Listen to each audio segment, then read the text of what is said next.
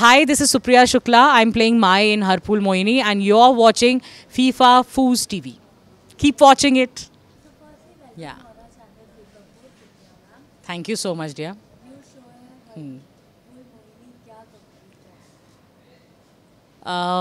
क्या बोलूँ? मतलब एक्साइटेड हूँ काफ़ी। एक uh, नया शो आ रहा है।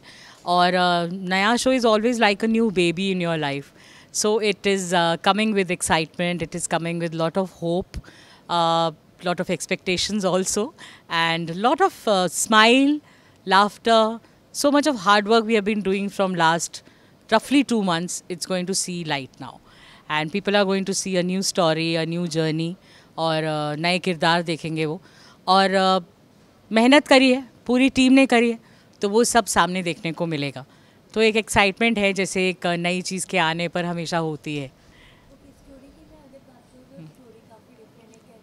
करेक्ट करेक्ट या हाँ ये तो है बिकॉज़ ज़्यादातर हम लोग जब टीवी शोज़ की बात करते हैं तो एक प्रेम कहानी शुरू होती है और वो प्रेम कहानी जो है उसमें बहुत सारी प्रॉब्लम्स आती हैं। एक विलन आता है, फिर वो लड़की को चाहता है, लेकिन हीरो उसे बचाता है और बहुत कुछ होता है और परिवार वाले बोलते हैं, नहीं नहीं, ये लड़की हमें नहीं चाहिए। और जो हमारी फ़िल्मों में भी होता है और नॉर्मल ज़िंदगी में भी एक्चुअली होता है।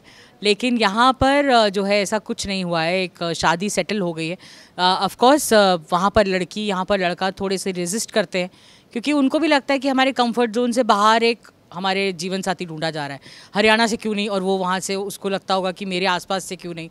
और लेकिन उस वो लड़की फिर मान जाती है और फिर ये लड़का भी मान जाता है। माँ, वो यहाँ पर वो अपनी माँ का, वहाँ वो अपने माता पिता का मान रख कर एक अरेंज्ड मैरिज हो जाती है। जिनकी बिल्कुल सोच अलग है, उन, क्योंकि वो मतलब उनका पालन पोषण अलग हुआ है। खाना अलग है, वहाँ चावल खाया जाता है यहाँ रोटी खाई जाती है। बात बहुत छोटी सी है, लेकिन रोज़मर्रा की ज़िंदगी में बहुत फ़र्क पड़ता है। मैं खुद, क्योंकि कश्मीर से बिलोंग करती हूँ मेरे हस्बैंड यूपी के हैं तो उनके घर में पहले रोटी खाई जाती, फिर थोड़ा चावल खाया जाता है। हमारे घर में रोटी क्या होती है, हमें पता ही नहीं था। तो इस तरीके से, लेकिन अगर आपका बॉन्ड स्ट्रॉन्ग है और आप एक दूसरे को चाहने लगते हैं तो फिर सब चीज़ें आसान हो जाती हैं, जो हर फूल मोहिनी में आपको धीरे धीरे देखने को मिलेंगी। तो एक प्रेम कहानी, जो शादी के बाद शुरू होगी। या या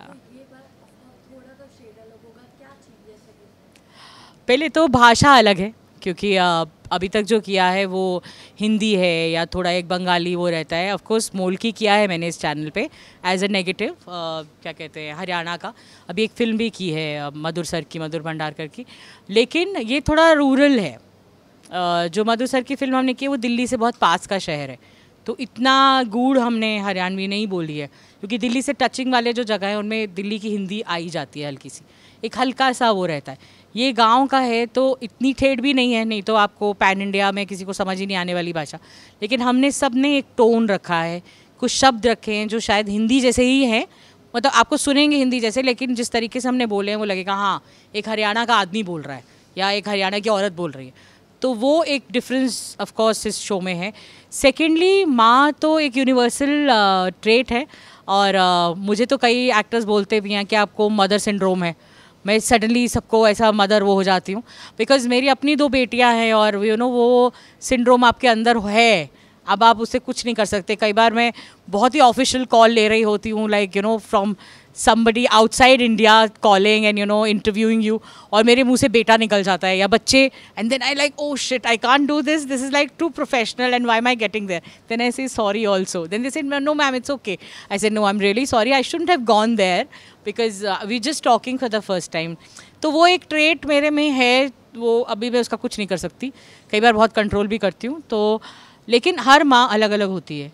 मैंने जितने भी माँ के किरदार निभाए हैं वो सबको कोशिश किया है कि वो अलग अलग लेवल पर ऑपरेट करे। अगर सरला दो एक बू एक मतलब लाइन के बाद उसकी आँखें भर जाती थी तो माई ऐसी नहीं है। ऐसा नहीं है कि उसकी आँखों में आँसू नहीं आते लेकिन उसने इतनी जद्दोजहद देखी है ब, ब, मतलब बेटों के बचपन से कि वो उसको समय लगता है अपनी उसके आँखों में आँसू आने में। लेकिन आ जाते हैं। जब आते हो और बहुत हल्का कई बार रहता है कब तो इस तरीके से किरदार को एक लेयरिंग्स जो हैं वो सब अलग अलग रहती हैं। तो मैंने भी कोशिश की है कि माई जो है वो रिलेटेबल भी हो येट वो रियल भी लगे। और मतलब किसी भी इंसान को जो देख रहा है वो कहे कि हाँ मेरी मम्मी जैसी है, कि हाँ मम्मी बिल्कुल आप ऐसे ही करती हो। ऐसा ना लगे कि कहीं कहीं दूसरे किसी ग्रह से आ गई है वो औरत। तो वो कोशिश तो हमेशा हर कलाकार की शायद रहती ही है। मेरी भी यही कोशिश है कि हमें लोग ऐसे ही लगे कि एक घर है वहाँ ये सब हो रहा है और बस हम घर में कैमरा चला गया है और उस कैमरे के थ्रू हम उनको देख रहे हैं। या yes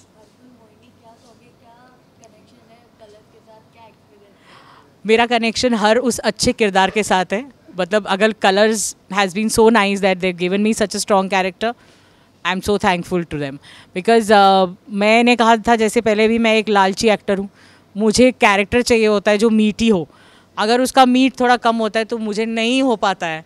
I need to like you know work on the character और उस कैरेक्टर के थ्रू कुछ तो कहने को मिले, एक किरदार को। अब इतने साल काम करने के बाद आप आप सिर्फ़ एक ऐसा कैरेक्टर नहीं करना चाहते जिस पे कुछ परफॉर्म करने को ना हो, अपने आप को एक्सटेंड करने को ना हो। अपने आप को देखने के बाद ये ना लगे कि, अह, ये क्या है? कि उफ़, ये कैसे रह गया? देख कर ये लगे कि हाँ क्योंकि आप सेटिस्फाई तो कभी नहीं होते मैं तो कभी भी नहीं होती मुझे ऐसा लगता है अरे यहाँ मैं ऐसा कर देती तो ऐसा हो जाता। ये मैंने क्यों तब नहीं सोचा? और ये हमेशा रहना चाहिए जब तक आप मरते नहीं हैं क्योंकि कलाकार तो जब उसको उसकी मौत होती है तभी वो रुकता है। नहीं तो उसके उस दिन तक वो सीखता रहता है। और आ, मुझे ऐसा लगता है कि जिस भी किरदार को या कलाकार को ऐसा लगता है कि उसे सब आता है उसकी मौत वहीं हो जाती है। वो कुछ, अगर वो सीखना ही नहीं चाहता तो इसका मतलब है कि अब वो जीता हुआ नहीं है। वो पहले ही मर चुका है। तो he has to live he has to learn every day so I am a learner I'll keep learning with every character with every characterisation I want to portray every every layering I want to do in a characterisation and thank you to public basically the viewers who has always loved me in different characters I portrayed and I believed कि हाँ ये यही है। ये वो नहीं है ये अलग ही है। तो अच्छा लगता है so I am thankful yeah correct जीत के आना और ट्रॉफी लेकर आना बिकॉज़ तुम में वो दम है और तुम सरला अरोड़ा की बेटी हो।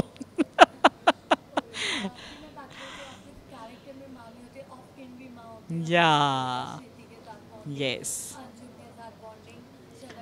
मृणाल के साथ bonding I I mean mean, उसको तो वो तो एक साल के बाद ही चली गई थी लेकिन uh, उसकी हर फ़िल्म की स्क्रीनिंग में I have always been there from love Sonia चाहे लव सोनिया हो और आई रिमेंबर लव सोनिया के लिए जब उसने मुझे कॉल किया था I was the fortunate person to watch it before her parents so इतना आदर देना आई एम वेरी फॉर्चुनेट कि ये बच्चे मुझे इतना रिस्पेक्ट देते हैं इतना प्यार करते हैं मुझसे।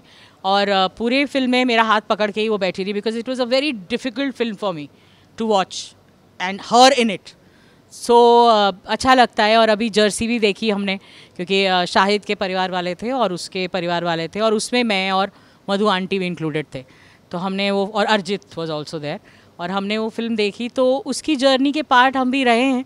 और अच्छा लगता है कि जो बेटी आपके साथ थी उस शो में, वो आज इतना अपना नाम कर रही है। People appreciate her she is been working with the best in the industry what else do you want you always want to bless them wherever they go they should just do good work medium doesn't matter I guess आप television कर रहे हो O T T कर रहे हो, या film कर रहे हो, आपका काम आपको मान देना चाहिए। और वो वो कर रही है। So I am very very happy for a happy for Shruti also जैसा आपने कहा अभी खतरों खिलाड़ी तो मैंने कहा ना कि ट्रॉफी लेकर आना। तुम सरला अरोड़ा की बेटी हो याद रखना।